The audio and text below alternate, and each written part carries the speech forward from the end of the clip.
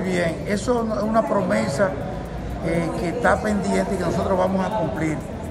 Eh, se están los detalles finales ya de, estudio y diseño. Y luego entonces ya hace proceso de licitación y entonces daremos inicio ya a, lo que es la primera etapa, la, vamos a ir realizando por etapas. Entonces, nosotros entendemos que ya en los próximos meses, ¿verdad?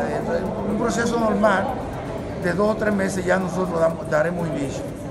Vamos a hacer encuentros con diferentes sectores de aquí, de San Francisco, eh, principalmente los sectores populares, eh, con la Junta de Vecinos y demás, que siempre han estado al frente de los reclamos, y entonces vamos a dar inicio, eh, que ya es una promesa de campaña del presidente Luis Abinader y también de nosotros aquí ya como municipios, ciudadanos de San Francisco de Macorís.